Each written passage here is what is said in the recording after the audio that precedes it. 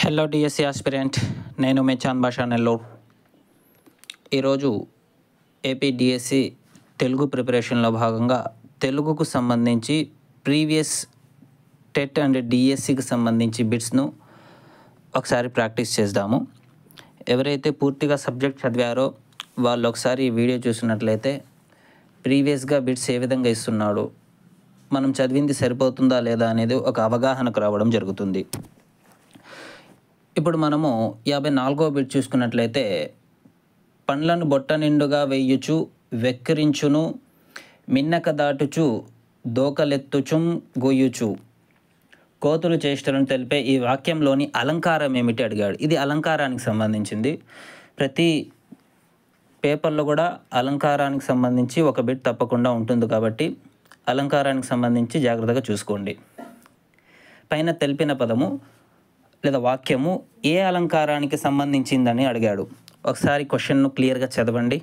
మీ యొక్క సమాధానాన్ని కామెంట్ రూపంలో పెట్టండి. ఇది కోతి యొక్క స్వభావానికి సంబంధించింది కాబట్టి ఇది స్వభావోక్తి అలంకారము. తర్వాత యాభై ఐదో క్వశ్చన్ చూసుకున్నట్లయితే ఎన అంటే అర్థం ఏమిటి అడిగాడు ఇక్కడ. అంటే చూడండి ప్రతి పేపర్లో కూడా అర్థాలకు సంబంధించి కూడా అడుగుతున్నాడు. ఎనా అంటే అర్థం ఏమిటి అని అడిగాడు. ఎనా అంటే అర్థం ఏమిటి కింద ఆప్షన్స్ ఇచ్చాడు చూడండి. ఎదిరించు సమాసము ఎన్నిక ఏనాడు. మీ యొక్క సమాధానాన్ని కామెంట్లో పెట్టండి. ఎన అంటే అర్థము సమాసము అని అర్థము. ఓకే తర్వాత యాభై ఆరో క్వశ్చము వనరు అను పదానికి నానార్థాలను గుర్తించండి అన్నాడు. ఓకే? వనరు అనే పదానికి నానార్థాలు గుర్తించండి అని అడిగాడు. ఇక్కడ ఆప్షన్ ఏ ఏమి ఇచ్చాడంటే ఇంపు కలుగు. ఆప్షన్ బి మోసం బాధ. ఆప్షన్ ఈ ఒప్పు అనుకూలత. ఆప్షన్ ఈ ఒప్పు గుర్తు ఇచ్చాడు.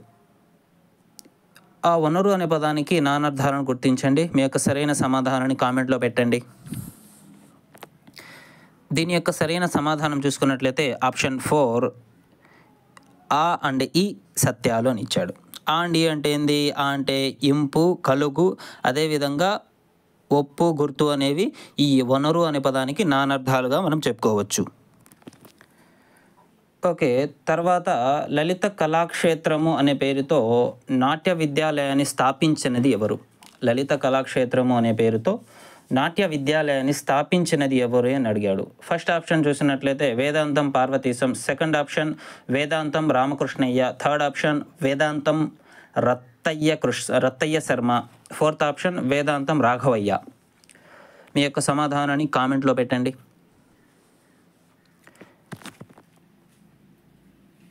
ఈ లలిత కళాక్షేత్రం అనే నాట్య విద్యాలయాన్ని స్థాపించిన వ్యక్తి వచ్చి ఫస్ట్ ఆప్షన్ వేదాంతం పార్వతీశం అనే వ్యక్తి ఈ లలిత కళాక్షేత్రం అనే నాట్య విద్యాలయాన్ని స్థాపించడం జరిగింది. తర్వాత యాభై ఎనిమిదవ క్వశ్చన్ చూసుకున్నట్లయితే విద్యార్థిని ఆహ్వాన పత్రికను తయారు చేయడం ఈ భాషా సామర్థ్యానికి చెందిన ప్రశ్న అని అడిగాడు. అంటే విద్యార్థి ఆహ్వాన పత్రిక తయారు చేయడము ఏ భాషా సామర్థ్యానికి చెందిన ప్రశ్న అని అడిగాడు. ఇక్కడ ఆప్షన్ చూసుకున్నట్లయితే ఫస్ట్ ఆప్షన్ ప్రశంస సెకండ్ ఆప్షన్ పదజాలాభివృద్ధి థర్డ్ ఆప్షన్ సృజనాత్మకత ఫోర్త్ ఆప్షన్ చదవడం రాయడము. ఏ భాషా సామర్థ్యానికి చెందినది? మీ యొక్క సమాధానాన్ని కామెంట్లో పెట్టండి. దీని యొక్క సరైన సమాధానం చూసుకున్నట్లయితే ఆప్షన్ త్రీ సృజనాత్మకత. సృజనాత్మకత అనేది విద్యార్థి ఆహ్వాన పత్రిక తయారు చేయడం అనేది సృజనాత్మకత అనే భాషా సామర్థ్యానికి చెందినది. ఓకే? తర్వాత యాభై తొమ్మిదో క్వశ్చన్. చెప్పుడు వాడు చెప్పిన వినియుడు వారికించున వినియుడు వారికించుచ వివేకము పుట్టదా? ఈ మాటలు వీరు వీరితో అన్నారు. అంటే ఇక్కడ మనము పాఠ్యాంశాలలో పాత్ర సందర్భాలు ఉంటాయి కదా ఈ పాత్ర సందర్భాలకు సంబంధించి క్వశ్చన్ అడిగాడు. పైన చెప్పిన వాక్యం ఎవరు ఎవరితో అన్నాడని అడిగాడు దీంట్లో. దీంట్లో ఆప్షన్స్ చూసుకున్నట్లయితే ఫస్ట్ ఆప్షన్ ధర్మరాజు కృష్ణుడితో చెప్పాడు. సెకండ్ ఆప్షన్ పులి గోవుతో. థర్డ్ ఆప్షన్ శివాజీ అప్పాజీ సోందేవుడితో అదేవిధంగా ఫోర్త్ ఆప్షన్ నాగుడు గురుత్మాంతునితో చెప్పాడు అని చెప్పాడు. మీ యొక్క సరైన సమాధానాన్ని కామెంట్లో పెట్టండి. దీని యొక్క సరైన సమాధానం చూసుకున్నట్లయితే పులి గోవుతో చెప్పింది. ఆప్షన్ టూ పులి గోవుతో చెప్పింది పై మాటలు. తర్వాత అరవై క్వశ్చన్ చూసినట్లయితే ప్రాణులకు జీవనాధారమైన వాడు ఎవరు? ప్రాణులకు జీవన ఆధారమైన వాడు ఎవరు? అను ఉత్పత్తినిచ్చే పదానికి అర్థం ఏమిటి అని అడిగాడు ఇక్కడ. ఓకే? ఇక్కడ మనం చూసుకున్నట్లయితే ఆప్షన్ వన్ అనంతుడు. ఆప్షన్ టూ అనిహుడు. ఆప్షన్ త్రీ అనీసుడు. ఆప్షన్ ఫోర్ అనిలుడు. మీ యొక్క సమాధానాన్ని కామెంట్లో పెట్టండి. దీని యొక్క సరైన సమాధానం చూసుకున్నట్లయితే ప్రాణులకు జీవనాధారమైన వాడు అనిలుడు. ఓకే? ప్రాణులకు జీవన ఆధారమైన వాడు ఎవరు? అనిలుడు. తర్వాత అరవై ఒకటో క్వశ్చన్ చూసినట్లయితే ఈ క్రింది వాటిలో జీవ వైవిధ్యాన్ని తెలిపే పాఠ్యాంశం ఏమిటి అని అడిగాడు. జీవ వైవిధ్యాన్ని తెలిపే పాఠ్యాంశం. ఆప్షన్ వన్ చిలుక సందేశం. ఆప్షన్ టూ పల్లె చిత్రం. ఆప్షన్ త్రీ ఆరోగ్యమే మహాభాగ్యం. ఆప్షన్ ఫోర్ కోతి పెన్సిల్. జీవ వైవిధ్యాన్ని తెలిపే పాఠ్యాంశం ఏది? మీ యొక్క సమాధానాన్ని కామెంట్లో పెట్టండి. దీని యొక్క సరైన సమాధానం ఆప్షన్ వన్ చిలుక సందేశం అనే పాఠము జీవ వైవిధ్యాన్ని తెలిపేటటువంటి పాఠ్యాంశము. తర్వాత అరవై రెండవ క్వశ్చన్ చూసుకున్నట్లయితే కాంతామణి పదంలోని సమాసం ఏమిటి అని అడిగాడు. కాంతామణి అనే పదంలో అది ఏ సమాసం అని అడిగాడు. ఆప్షన్ వన్ విశేషణ పూర్వపద కర్మాధారయ సమాసం. ఆప్షన్ టూ విశేషణ ఉత్తరపద కర్మాధారయ సమాసం. ఆప్షన్ త్రీ ఉపమాన పూర్వపద కర్మాధారయ సమాసం. ఆప్షన్ ఫోర్ ఉపమాన ఉత్తరపద కర్మాధారయ సమాసం. మీ యొక్క సరైన సమాధానాన్ని కామెంట్ రూపంలో పెట్టండి. చూడండి ప్రతి పేపర్లో కూడా సమాసాలకు సంబంధించి కూడా ఒక మార్క్ తప్పకుండా వస్తుంది. కాబట్టి సమాసాలకు సంబంధించి కూడా మీరు ఒకసారి జాగ్రత్తగా చూసుకోవాలి. ఈ అరవై రెండో క్వశ్చన్కి చూసుకున్నట్లయితే ఆప్షన్ ఫోర్ ఉపమాన ఉత్తర పద కర్మధారయ సమస్య సరైన సమాధానం దీనికి. తర్వాత అరవై మూడో చూసుకున్నట్లయితే బొమ్మ గుర్రం కథను రచించినది ఎవరు అని అడిగాడు. ఓకే? బొమ్మ గుర్రం కథను రచించినది ఎవరు? Option one Chakradhwaj. Option two Deepa Agarwal. Option three Avadhani Ramesh. Option four Jandhyala Papayya Sastry. ఈ బొమ్మ గుర్రం అనే కథని ఎవరు రచించారు? మీ యొక్క సమాధానాన్ని కామెంట్లో పెట్టండి. దీని యొక్క సరైన సమాధానము ఆప్షన్ టూ దీపా అగర్వాల్. దీపా అగర్వాల్ అనే వ్యక్తి ఈ బొమ్మ గుర్రం అనే కథను రచించడం జరిగింది. తర్వాత అరవై నాలుగో క్వశ్చన్ చూసినట్లయితే ఈ క్రింది వాటిలో యనాదేశ సంధి జరగని పదం ఏమిటి అడిగాడు. ఓకే? యనాదేశ సంధి జరగని పదం ఇక్కడ అడిగింది. ఆప్షన్ వన్ చూసినట్లయితే ప్రత్యక్షం. ఆప్షన్ టూ రమ్యోక్తి. ఆప్షన్ త్రీ ప్రత్యుత్తరం. ఆప్షన్ ఫోర్ మధ్వరి. సందుల్లో నుంచి కూడా చూడండి ఒక క్వశ్చన్ తప్పకుండా వస్తుంది. కాబట్టి సందుల్లో కూడా తప్పకుండా ఒకసారి జాగ్రత్తగా చూసుకోవాలి. తర్వాత అరవై నాలుగో క్వశ్చన్ యొక్క సరైన సమాధానం చూసుకున్నట్లయితే ఆప్షన్ టూ రమ్యోక్తి. రమ్యోక్తి అనే పదంలో యనాదేశ సంధి జరగదు ఇక్కడ. తర్వాత అరవై ఐదో క్వశ్చను బలిరే శిల్పి జగంబులోన జీర జీవత్వంబు సృష్టించుకో. ఈ పద్యపాదంలోని యతిమైత్రి అక్షరాలను గుర్తించండి అన్నాడు ఇక్కడ. ఓకే? ఇక్కడ ఏం చెప్పాడు? యతిమైత్రి అక్షరాలను గుర్తించండి అని చెప్పాడు. మీ యొక్క సరైన సమాధానాన్ని కామెంట్లో పెట్టండి యతిమైత్రి అక్షరాలను. ఆప్షన్ వన్ ఏమన్నాడు ఇక్కడ? భా జీ. ఆప్షన్ టూ భా వా. ఆప్షన్ త్రీ భా త్వం. ఆప్షన్ ఫోర్ భా రా. సరైన సమాధానాన్ని కామెంట్లో పెట్టండి. దీని యొక్క సరైన సమాధానం చూసినట్లయితే ఆప్షన్ టూ భావ. భావ అనేది దీని యొక్క అవసరం. దీని యొక్క ఆన్సర్ ఆప్షన్ టూ భావ అవుతుంది. తర్వాత అరవై ఆరో క్వశ్చన్ చూసుకున్నట్లయితే నేను దీ నేను దీనిని భూదాన యజ్ఞం అని పేరు పెట్టాను. ఈ వాక్యానికి కర్మని వాక్యం ఏమిటి? అడిగాడు. ఓకే? నేను దీనికి భూదాన యజ్ఞం అని పేరు పెట్టాను. ఈ వాక్యానికి కర్మని వాక్యం అడిగాడు ఇక్కడ. ఆప్షన్ వన్ చూసుకున్నట్లయితే నేను దీనికి భూదాన యజ్ఞం అని పేరు పెట్టబడింది. నేను దీనికి భూదాన యజ్ఞం అని పేరు పెట్టాను. నాచే దీనికి భూదాన యజ్ఞం అని పేరు పెట్టబడింది.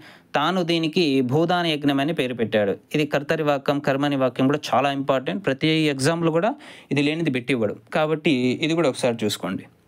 దీని యొక్క సరైన సమాధానం చూసుకున్నట్లయితే ఆప్షన్ త్రీ నాచే దీనికి భూదాన యజ్ఞం అని పేరు పెట్టబడింది.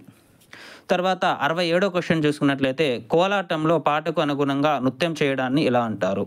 కోలాటంలో పాటకు అనుగుణంగా నృత్యం చేయడాన్ని ఇలా అంటారు. ఆప్షన్ వన్ పొంగి. ఆప్షన్ టూ కోల. ఆప్షన్ త్రీ వంత.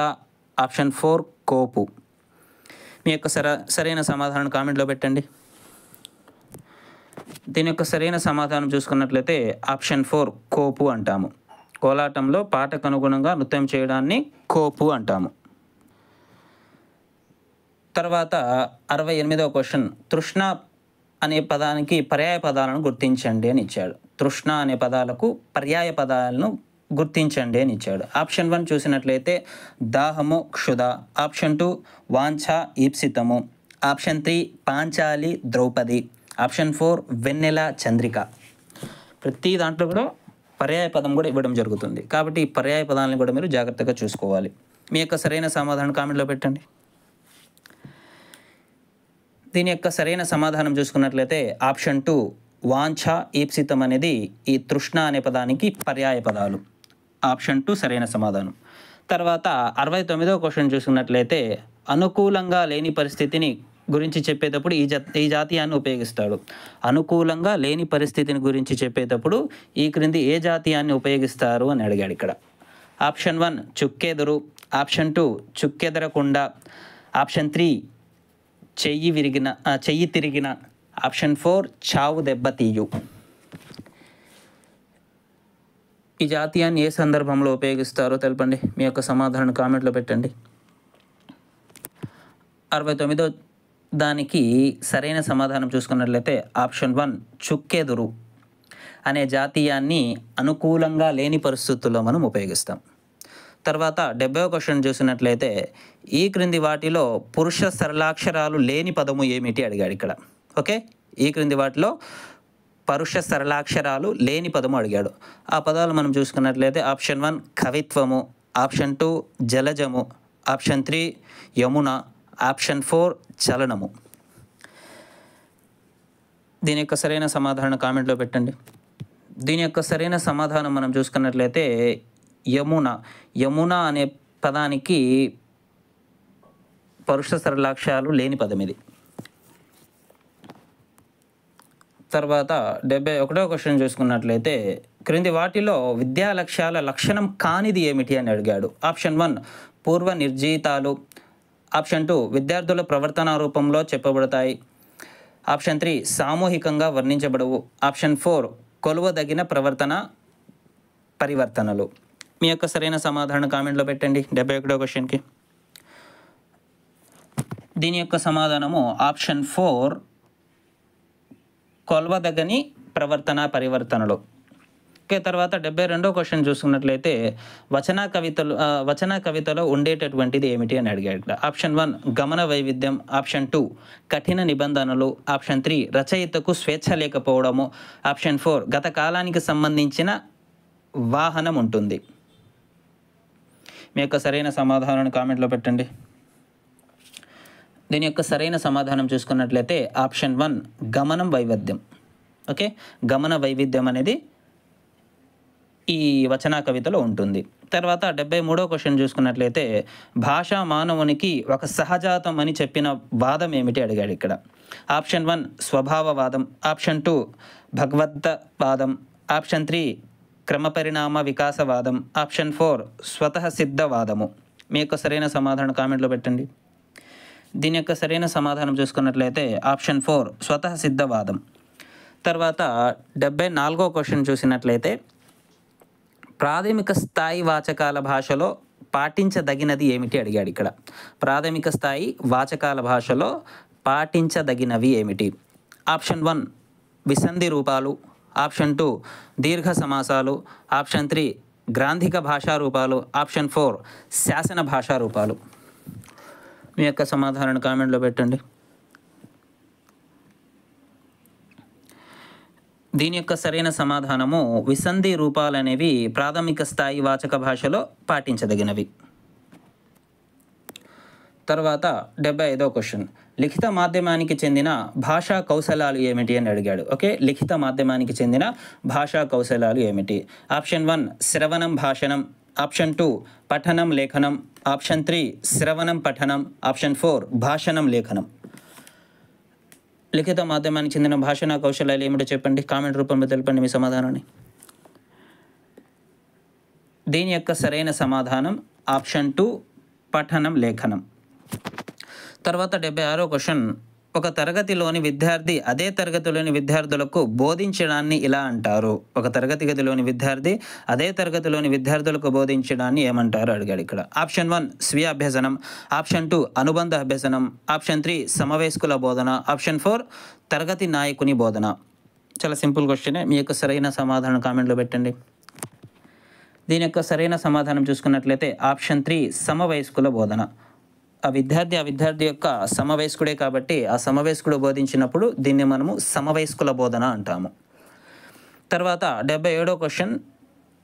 తన బోధన ఎటువంటి ఫలితాన్ని ఇచ్చిందో తాను మూల్యాంకనం చేసుకోవడానికి ఛాత్రోపాధ్యాయుడికి తోడ్పడేది ఏమిటి అనగా ఇక్కడ ఆప్షన్ చూసుకున్నట్లయితే ఆప్షన్ వన్ పాఠ్యపథకం ఆప్షన్ టూ స్వీయ మూల్యాంకనం ఆప్షన్ త్రీ తోటి ఛాత్రుల మూల్యాంకనం ఆప్షన్ ఫోర్ పర్యవేక్షకుని మూల్యాంకనం. ఇది అప్లికేషన్ మెథడ్లో ఇచ్చాడు కాబట్టి ఒకసారి ఆ క్వశ్చన్ క్లియర్గా చదివి మీ యొక్క సరైన సమాధానం కామెంట్లో పెట్టండి.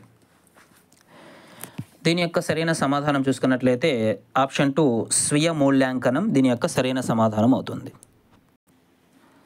తర్వాత డెబ్బై ఎనిమిదవ క్వశ్చన్.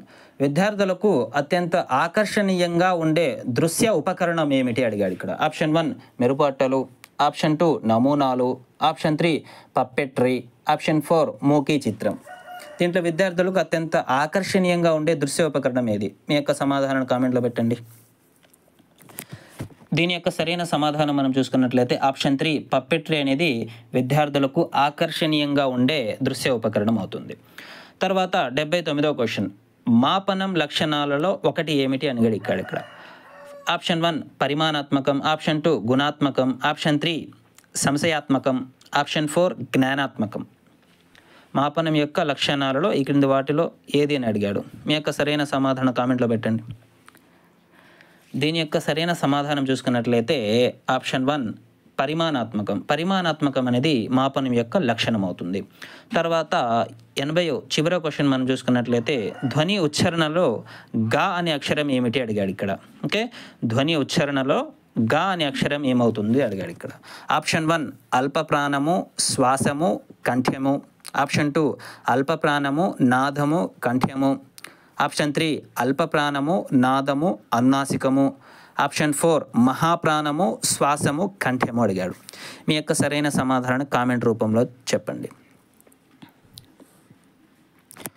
దీని యొక్క సరైన సమాధానం చూసుకున్నట్లయితే ఆప్షన్ టూ అల్ప ప్రాణము నాదము కంఠము అవుతుంది.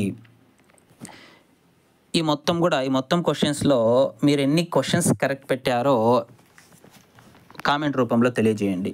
అదేవిధంగా మరిన్ని ఇటువంటి ఇంట్రెస్టింగ్ వీడియోస్ కోసం మన ఛానల్ను లైక్ చేయండి షేర్ చేయండి సబ్స్క్రైబ్ చేసుకోండి.